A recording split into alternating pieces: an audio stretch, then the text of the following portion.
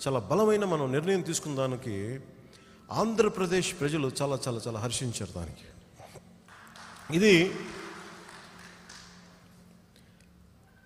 మనం ఒకటే గుర్తుపెట్టుకుందాం.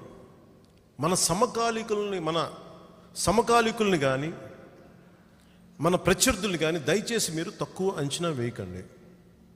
నేను చాలా చాలా లోతుగా అధ్యయనం చేసి మరీ చెప్తున్నాను. Never undermine someone when they are the weakest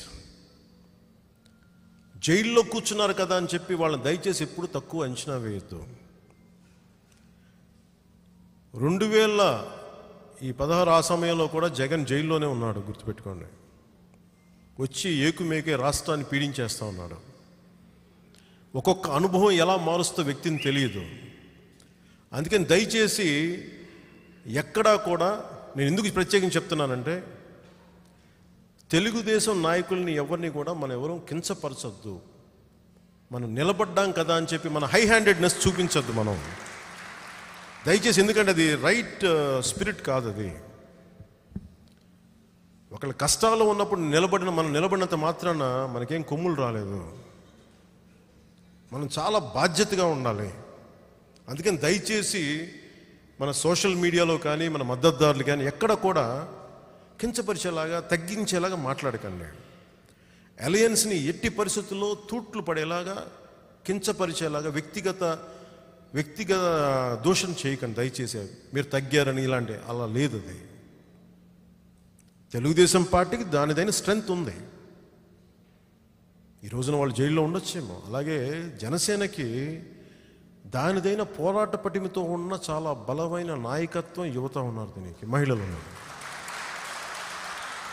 ఇవన్నీ సమిష్టిగా కలిస్తేనే ఒక వ్యక్తిని ఎదుర్కోగలం ఒక నియంత్రణ ఎదుర్కోగలం. అందుకని దయచేసి దీన్ని అందుకే ఎందుకు చెప్తున్నానంటే ఈ మాట? రాహుల్ గాంధీని everyone said he's a Pappu Pappu Rahul that's how they ridicule him. But today that man walk from Kanyakumari to Kashmir so never undermine your opponent దయచేసి ఎప్పుడు కూడా మన ప్రత్యర్థుల కేపబిలిటీని దయచేసి తక్కువ అంచనా చేయదు. మీరు తక్కువ చేసే కొద్దీ మనం వాళ్ళకి బలం ఇచ్చిన వాళ్ళం అవుతాం తప్ప వాళ్ళ పౌరుషం పెంచిన వాళ్ళం అవుతాం. అందుకని మీరు దయచేసి పాలసీల మీదే మాట్లాడండి. I'm not a fan of Congress party my loyalty my support is only for NDA కానీ నేను ఈ ప్రత్యర్థి పార్టీలో ఉన్న ఈ ఈ కొత్త యూపీఏ కూటమిని కూడా నేనేం తక్కువ అంచనా వేయను. అందుకని మనం కూడా అదే దృష్టిలో పెట్టుకుందాం. ఈ రోజున మనం కలిసిపోయాం కదా మనం కలిసి పోటీ చేస్తున్నాం కదా అని చెప్పి దయచేసి వైసీపీని తక్కువ అంచనా వేయకండి. ఇంకోసారి రాకుండా ఉండాలంటే మనం ఎంత సమిష్టిగా ఉంటే అలయన్స్. భారతీయ జనతా పార్టీని కలుపుకొని ఎంత బలంగా ముందుకెళ్తే వైసీపీని భవిష్యత్తులో ఇంకెప్పుడు వైసీపీ అనేది లేకుండా చేయొచ్చు. అంటే మీరు చూడండి వైసీపీ అనేది ఒక పీడది ఒక చీడది.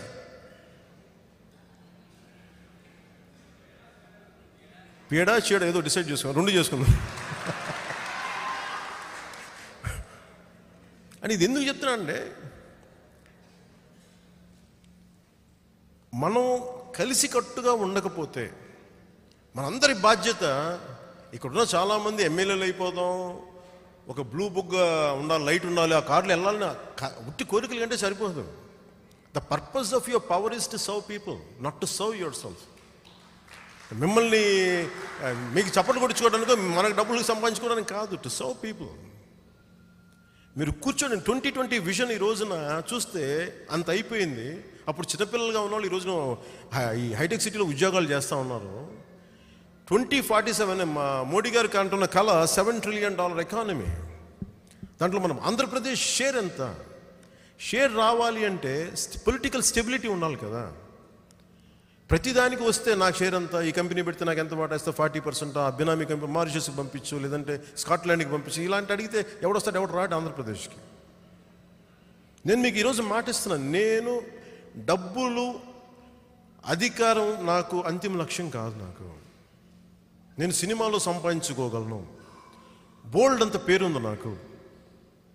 రాజకీయాలకు రాకుండా నాకు నిరాజనాలు పట్టి జనం ఉన్నారు. పచ్చబొట్లు పెట్టుకున్న అభిమానులు ఉన్నారు నాకు. పొడిపించుకున్న అభిమానులు.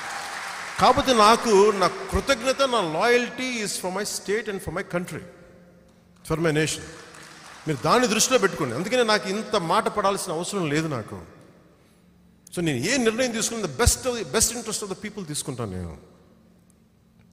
సో అలాగే ఈ మనం దీన్ని తీసుకుని దీన్ని ముందుకు తీసుకెళ్ళేటప్పుడు ఒక్కసారి మనం వైసీపీ ఆలోచన విధానాన్ని చూద్దాం.